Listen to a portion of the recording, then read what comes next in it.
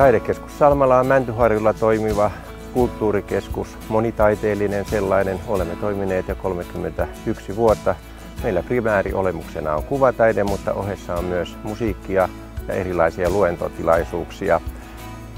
Salmalan näyttelyt on modernia klassista nykytaidetta ja me ollaan järjestetty kuvataidekilpailu, johon osallistui 300 nuorta taiteilijaa. Niistä valittiin 17 näyttelyluokkaan, jotka on ripustettu tuonne Domanderin näyttelytilaan. Ja itse Salmelan näyttelyssä on mukana sitten Miina Äkki Jyrkästä Rafael Vardin